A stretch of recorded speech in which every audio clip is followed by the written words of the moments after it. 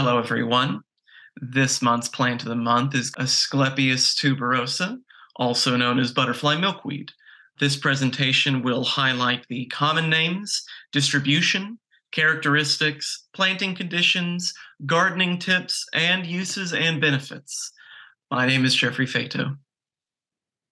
Asclepias tuberosa is from the family Asclepiadaceae, which is the milkweed family. You may have heard as Asclepia tuberosa referred to by common names such as butterfly weed, butterfly milkweed, orange milkweed, pleurisy root, chigger flower, and chiggerweed. If we look at an etymological perspective on where Asclepias tuberosa's name came from?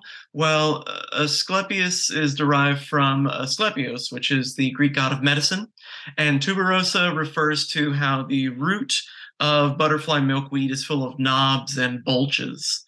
The Native Americans used to chew the tough root of butterfly milkweed as a cure for pleurisy and other pulmonary ailments, which is why it was often referred to as pleurisy root. While some people may refer to this plant as chiggerweed, this is mainly associated with the fact that butterfly weed can be found in habitats where chiggers can also be found. In terms of the distribution, butterfly weed is distributed all throughout North America. As you can see in our two maps here, in light green is where the species is not only native, but it is very common. And in our darker green on these two maps, this is where the species is native but is less common. Butterfly weed is going to exist in uh, its native habitat of prairies, of open woods, canyons, and hillsides. It's fine growing in rocky soils as well as clay and sand soils.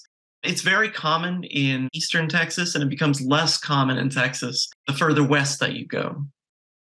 Some of the characteristics of butterfly milkweed include that it grows into this beautiful bushy plant it's a herbaceous perennial that is often prized for its beautiful flowers. They're very vibrant, but it produces a large flat top cluster of bright orange flowers, and it is native to Texas. The flower color can change depending on where in the United States it's found, but generally in Texas, it's going to take on an orange pigment. Mature plants can get to about a foot to two feet tall and usually don't grow wider than two feet.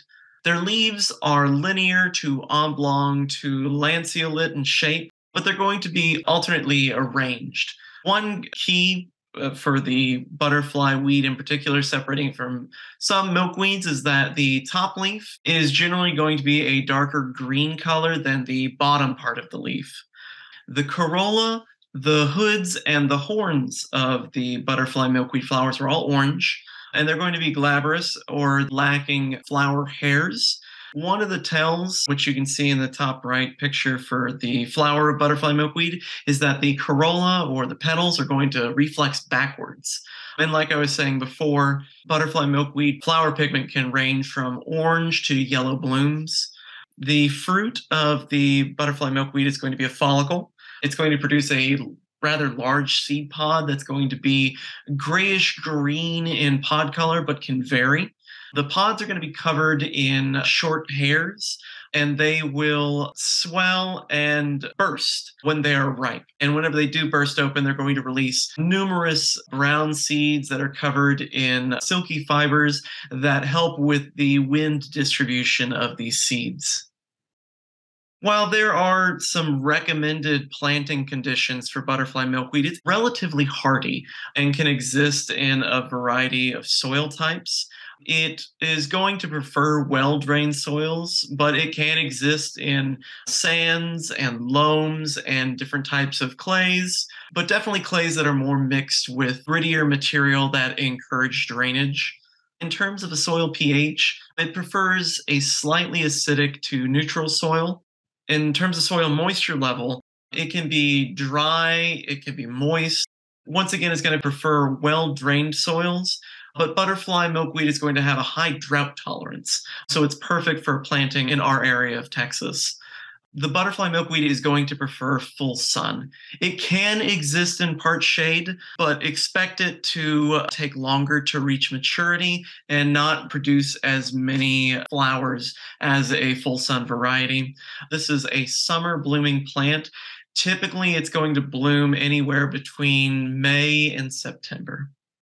There are several gardening tips that I'd like to impart on you today. In terms of propagating, you can very easily propagate butterfly milkweed from seed, but you can also do root cuttings.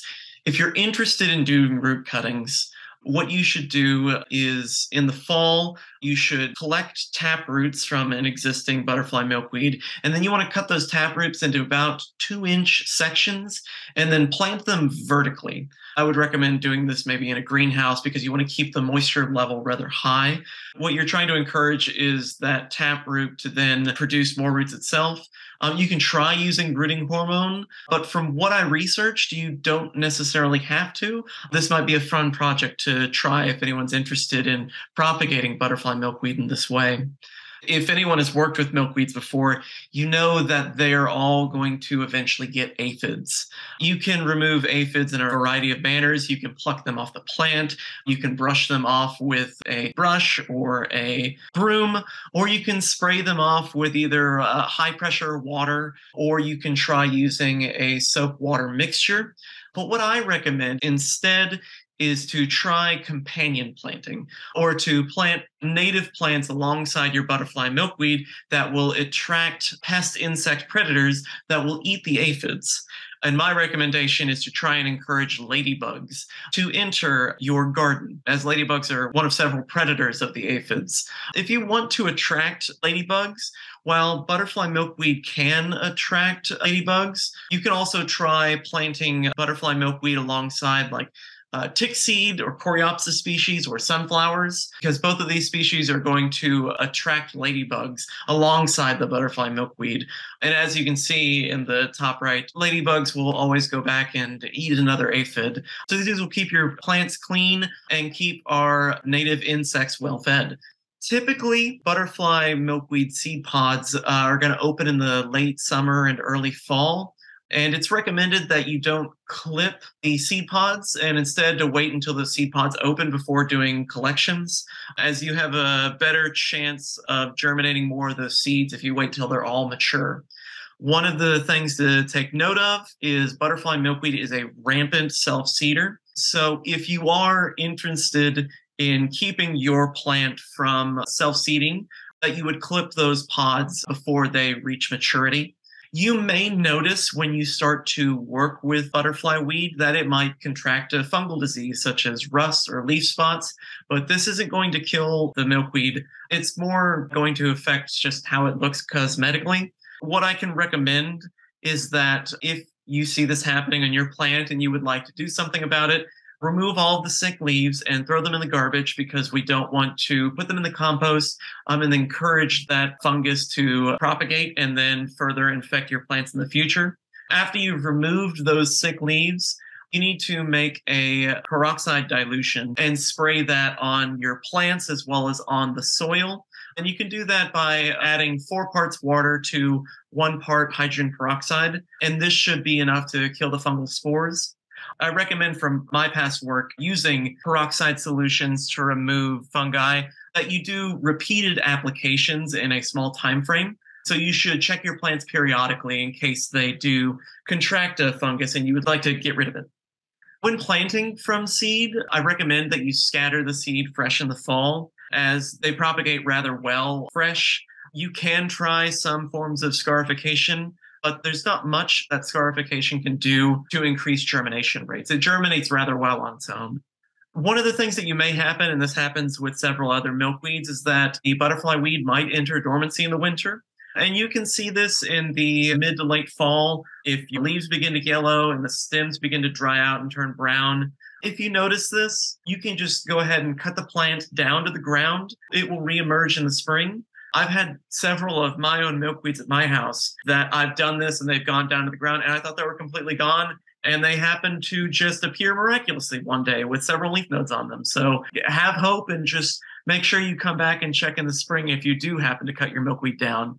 Lastly, depending on soil conditions, we went over what the milkweed prefers, but like we said, it is hardy. Your milkweed might not mature and establish itself as quickly if it's not in its preferred conditions. And therefore, it might not produce these beautiful, vibrant flowers, which we're used to seeing with butterfly milkweed for about two to three years. That being said, once your butterfly milkweed is established, they can live for years and their blooms will only get thicker and thicker. In terms of uses and benefits, there are several important uses for why we need to start incorporating butterfly milkweed into our gardens. Obviously, from an aesthetic value, they are an ornamental plant. They are beautiful and they're showy and they're long living perennials that don't take a lot of maintenance. They are also extremely important in terms of supporting pollinators. They can attract a variety of different butterflies and moths, bees and wasps and hummingbirds. But there is a special value that's attributed to butterfly milkweed in terms of supporting native bee populations, bumblebees, and honeybees. It's important to take note that a lot of our different plants have larval hosts, and a lot of our milkweed support a variety of butterflies. But Asclepias tuberosa in particular is going to be the larval host for our monarch butterflies, as well as our queen butterflies and our gray hair streak butterflies, which you can see in this picture on the top left like I was speaking on before about how companion planting can attract natural pest predator insects, butterfly milkweed is a beautiful addition to support conservation biological control, i.e., this plant is going to not only attract pollinators, but it's also going to attract a variety of pest insect predators. Like I said before, this plant can attract uh, ladybugs, but it can also attract lacewings, damsel bugs, as well as minute pirate bugs, all of which are going to attack specific predators that may be plaguing your garden. Also, butterfly milkweed is going to have a high resistance to deer. It actually repels them. And like we said before, this is a drought tolerant plant. So it is great for planting in our area. And it's native to most of Texas. So it is a plant that you should highly recommend to your fellow Texans. These are my references. Thank you, everyone, so much. And please go out and find yourself a butterfly milkweed.